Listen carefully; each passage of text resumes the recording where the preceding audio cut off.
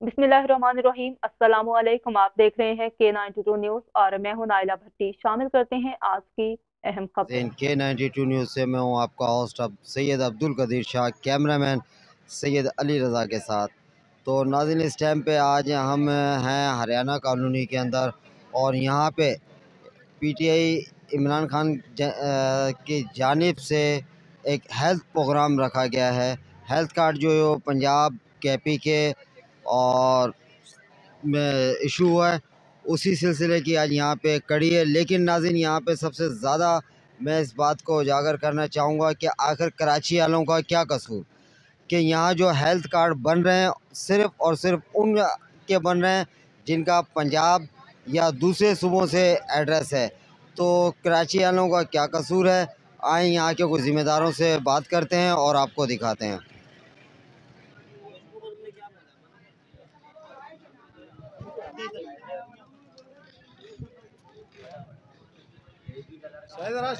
अच्छा नाजी हमारे साथ यहाँ पे इस टाइम पे मौजूद है यूसी के वाइस चेयरमैन डॉक्टर साहब है तो इनसे मालूम करते हैं। अस्सलाम वालेकुम सलाम। डॉक्टर साहब कैसे हैं शुक्र अल्लाह का एहसान है। आपकी खैरियत अच्छी है सेहत अच्छी है।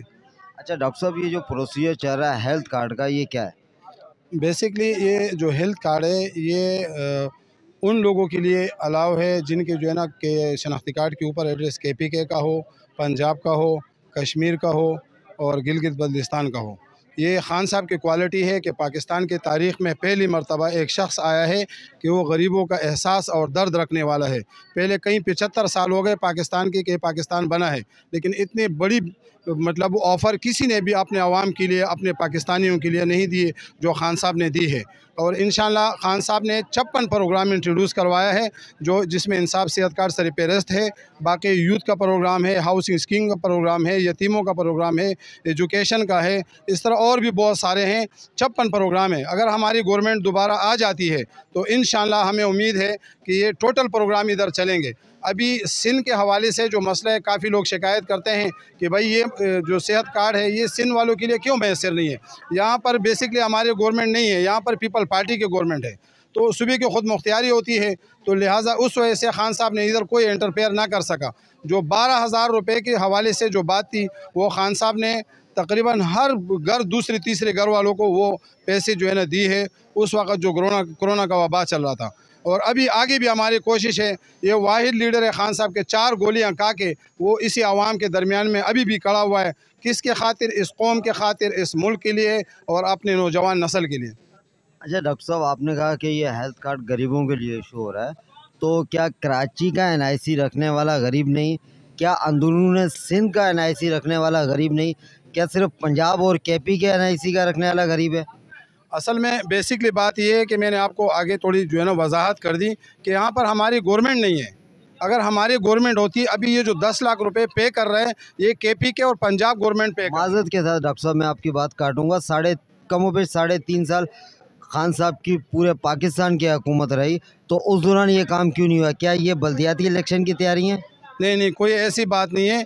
देखो खान साहब ने छप्पन प्रोग्राम का ऐलान किया था, लेकिन आपको ये भी पता है कि खान साहब को 12 बजे पाकिस्तान के तारीख में कौन से जो है ना ऐसा कोई वज़ी अजम को बारह रात को 12 बजे कोर्ट खोला और इसको नहल करके निकाल दिया गया उनको जो है ना, ये बुखलाट के शिकार है, जितनी भी तेरह पार्टी है स्पेशली पी वो इस डर के मारे इनको हटाया है कि भाई अगर ये खान साहब, सारे लोग खान साहब के साथ हो जाए और ये छप्पन प्रोग्राम एक्टिवेट हो जाए, किसी को घर मिले, किसी को जो है ना तालीम का मसला हल हो, किसी के इलाज का मसला हल हो तो फिर कौन इनको गवर्नमेंट मतलब हुकूमत में ये कैसे आएँगे? ये नहीं आ सकेंगे। इसलिए इनकी कोशिश यही है कि भाई खान साहब को किसी तरीके से नहल किया जाए और उसके बाद में इलेक्शन किया जाए। आप बखूबी जानते हो कि इधर इलेक्शन क्यों नहीं हो रहे? बार बार तारीख जो है ना डिले करते जा रहे हैं, आगे बढ़ाते जा रहे हैं। इसी वजह से कि किसी तरीके से ये नहल किया जाए। ये जो पी गवर्नमेंट है, ये तो अभी इसी में लगे हुए कि आपने जितने केसेस वगैरह थे, सही है, वो तो हम लोगों ने तो नहीं बनाए थे, खान साहब ने नहीं बनाए थे। ये तो पहले मुशर्रफ के दौर में इनके ऊपर केसेस ओपन हो पाए ओपन हो गए थे।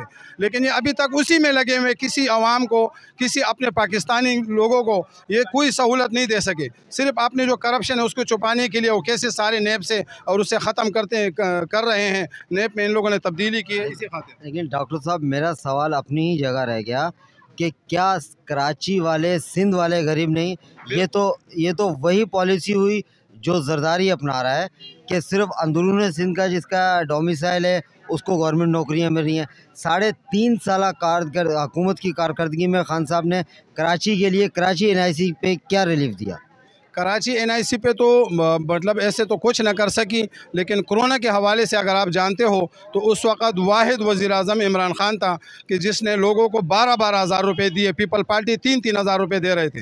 लेकिन आज़द के साथ के कोरोना के दौरान तो वाहिद ही पाकिस्तान का वज़ी अजम इमरान खान था क्योंकि एक ही वज़ी अजम होता है पाकिस्तान के तो वो कोई कारकर्दगी नहीं हुई। मुझे आप साढ़े तीन साल कारकर्दगी के अंदर खान साहब का कराची पैकेज या कराची की आवाम के लिए कोई बताएँ। कराची के आवाम के लिए खान साहब ने जो किया है ना ये जो बड़े नाले आजकल बन रहे हैं, आपने देखे, जब भी जो है ना पानी, बारिश ज़्यादा होता था तो ये नालों के इर्द गिर्द जितने भी मकान थे, वो चले जाते थे। ये सबसे बड़ा प्रोजेक्ट है और ये खान साहब ने किया, अभी भी चल रहे हैं। आप देखते हो कि नाले, नालों के इर्द गिर्द जो है ना उन लोगों ने रोड भी बना दिए और नाले ऐसे बना दिए कि इन जब तक पाकिस्तान है और हम हैं, यही नाले चलते रहेंगे, कोई पानी से जो है ना किसी को नुकसान नहीं होगा। बाकी नाजिमाबाद पर अगर आपने देखे हैं तो चार पाँच बाईपास उसने बनाए हैं। ये खान साहब के गवर्नमेंट में बड़े, ये बड़े प्रोजेक्ट हैं। तो बाईपास की वजह से अभी कोई रोड ब्लॉक नहीं हो रहा है और आपने देखी भी है। माजत चाहूँगा डॉक्टर साहब माजत चाहूँगा। ना बाईपास खान साहब की हुकूमत में कोई नहीं बना। माजत आपके नॉलेज के लिए। बाईपास नमतुल्ला के दौर में मंजूर हुए। नाले नमतुल्ला के दौर में मंजूर हुए। मैं आपसे फिर अर्ज़ करूँगा कि कराची पैकेज के बारे में आप मुझे बताएँ। खान साहब की साढ़े तीन साल गवर्नमेंट में क्या था? कराची के हवाले से जैसे मैंने आपको बताया, ये जो ब्रिज है, ये खान साहब के उसमें हुए नेमतुल्ला के अगर हुए तो नेमतुल्ला का कितना अरसा हो गया? उसके बाद कितने दफ़ा गवर्नमेंट आई तो उस वक्त क्यों नहीं बन रहे थे? तो मसला यही है ना कि हमारी जो कोई भी पार्टी वाले दूसरे होते हैं, कोई भी अगर वो, कोई भी पैकेज जैसे ये के फोर का मंसूबा है, इसका नवाज़ शरीफ ने दो दफ़ा लांडी पे अफ्ताह किया था, चौदह फुट मेरे ख्याल से चौड़े हैं और पंद्रह फुट गहराई है।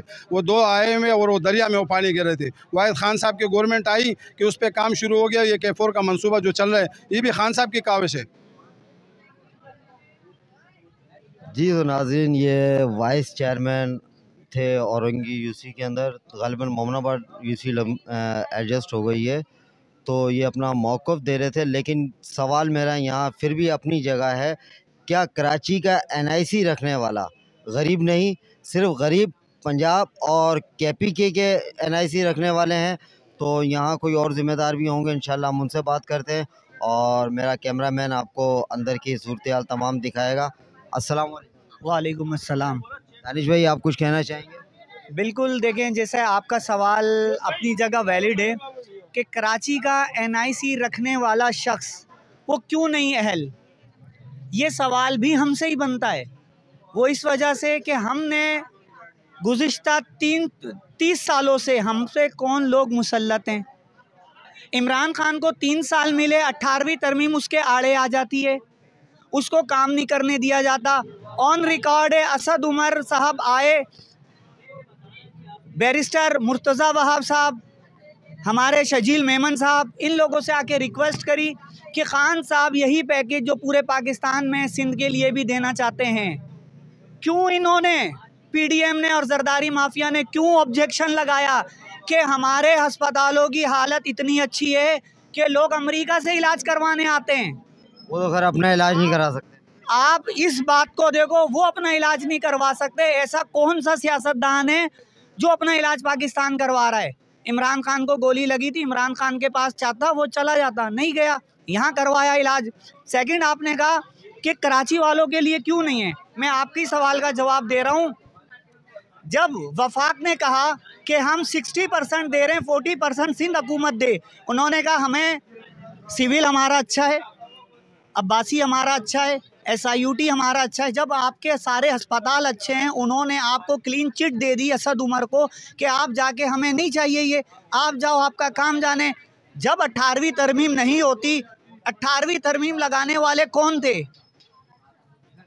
आज उसको, आज उसका खमियाजा सिंध हुकूमत के, की वजह से कराची के लोग भुगत रहे हैं। ना वो अट्ठारहवीं तरमीम होती और ना ये सिलसिला बनता। आपकी आपका सवाल अपनी जगह वैलिड है। अब ये हम लोगों को चाहिए।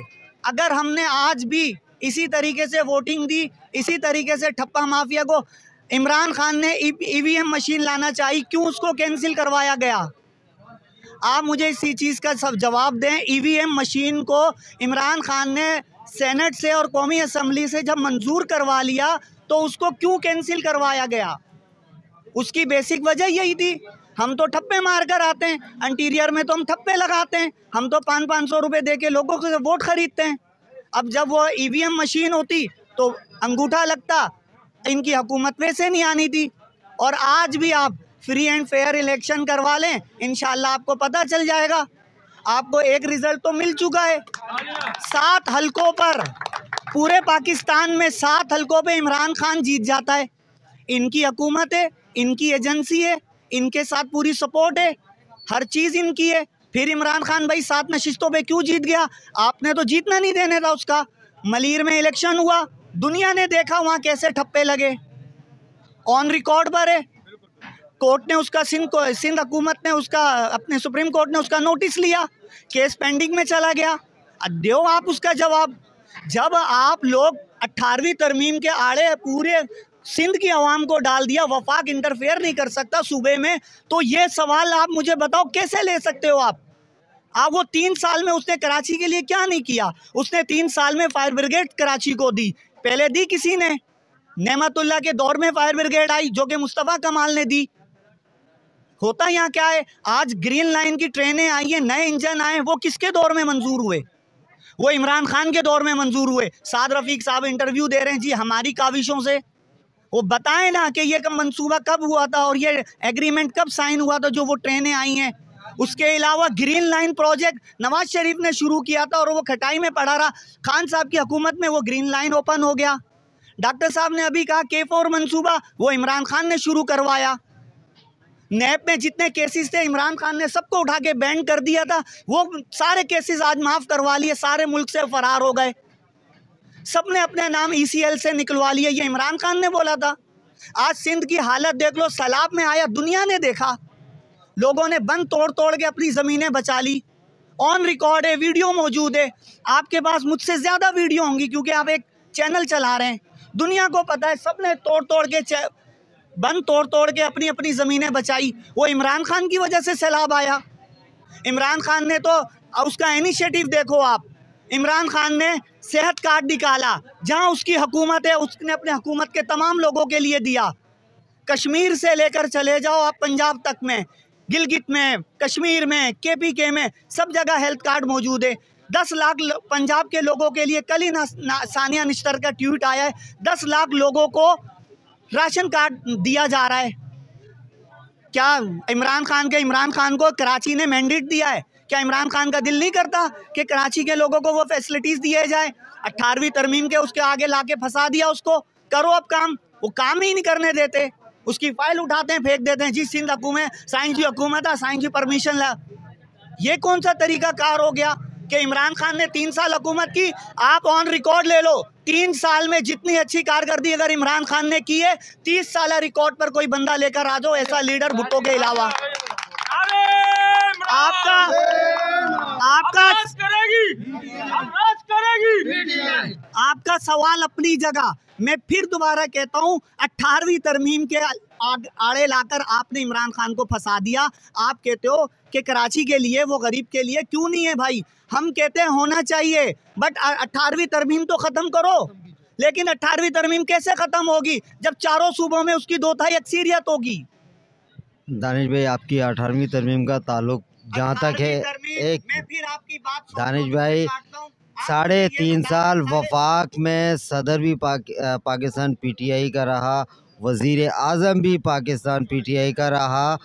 तो ये अठारहवीं तरमीम सदर और वज़ी अजम दोनों के हाथ में होती है। खान साहब ने क्यों ख़त्म नहीं की? खान साहब की पॉलिसियाँ अपनी जगह जितना जितना कि हम कोरोना के दौर में गुज़रे शायद खान साहब के अलावा कोई दूसरी गवर्नमेंट होती तो हमारे मुल्क का दिवालिया निकल चुका होता। जिस तरीके से कोरोना में खान साहब ने सराव किया खान साहब की अजमत को सलाम है। लेकिन साढ़े तीन साल में अठारहवीं तरमीम पे काम क्यों नहीं किया? अभी मैं बता देता हूँ आपने कहा साढ़े तीन साल में अठारहवीं तरमीम में क्यों नहीं काम किया? आप मुझे बता दें सिंध में किसकी हुकूमत थी? सिंध में पी पीपी की हुकूमत थी। बगैर पीपी को अंडरस्टैंडिंग में लाके सेनेट में उसे बिल आप मंजूर करवा सकते थे? लेकिन गवर्नर राज लगने के बाद लग सकता राज गवर्नर राज इस सूरत में नहीं लग सकता है। आप ये बात यहाँ आप इसको ऑन करो कि चारों सूबों में इमरान खान की हुकूमत होनी चाहिए तब जाके अठारहवीं तरमीम ख़त्म होगी। एक सूबे में सिर्फ़ इमरान खान की हुकूमत नहीं थी वो वहाँ बेबस था। उसने बहुत कोशिश करी उसने तीस सालों में तो नालों का आप कुछ कर नहीं सके। सब बैठकर खाते गए। के फोर मनसूबा आप लोगों ने आकर बंद करवाया, इमरान खान ने उसको शुरू करवाया। उसके अलावा इसके बहुत सारी ऐसी चीज़ें हैं। आज देखो सिंध में रहने वाले को पंजाब में बारह अस्पताल हैं जो जिसका सिंध में इलाज हो सकता है जो वहाँ से यहाँ आया हुआ है मजदूर तबका या जो, जो भी आप ले लो आपका पॉइंट अपनी जगह जी तीन साल इमरान खान ने किए मगर तीन साल में जब उसके एक पाँव बाँध के एक हाथ बाँध के और उसको बोलो आप हुकूमत करो आप उसको सिंध में जब तक अठारहवीं तरमीम ख़त्म नहीं करोगे तो वो कैसे करेगा भाई? आप मुझे बताओ जो पीपल्स पार्टी के सेनेट के मेंबर हैं क्या वो सेनेट में इमरान खान के हक में वोट देंगे? आप मुझे बताएँ। सेनेट का सेनेटर भी इमरान खान का रहा। देखें जो सिंध असम्बली से जाते हैं सेनेट आप बताएँ वो कर सक करेंगे उस कानून पे साइन या नहीं करेंगे? कुछ तल्क बिल ऐसे थे जो कि पास नहीं होने चाहिए थे वो पास हो गए तो अठारहवीं तरमीम का बिल क्यों नहीं पास हुआ? अठारहवीं तरमीम के लिए इन इमरान खान की हुकूमत सूबे सिंध में आने दो, चाहे इस ट्रम में आ जाए या अगले ट्रम में आ जाए। आपको ये अठारहवीं तरमीम भी ख़त्म करके तहरीक इंसाफ़ी दिखाएगी और आपको इन कराची के उस, हर उस शहरी को भी हेल्थ कार्ड की, राशन कार्ड की और एहसास प्रोग्राम कार्ड की सहूलत इन यही इमरान खान की हुकूमत करवाएगी। ये बात याद रखना आपके चैनल के थ्रू मैसेज दे रहा हूँ पूरे सिंध की आवाम को। अब भी अगर धोखे में रहोगे तो इन आना आने वाले तीस साल भी आप लोग धोखे में रहोगे। आप आज आप तहिया कर लो कि हम लोगों ने इमरान खान को लेकर आना है सिंध में तो इन हर सिंध के उस बासी के लिए भी वही हेल्थ कार्ड मिलेगा जो आज पंजाब के लिए मिल रहा है।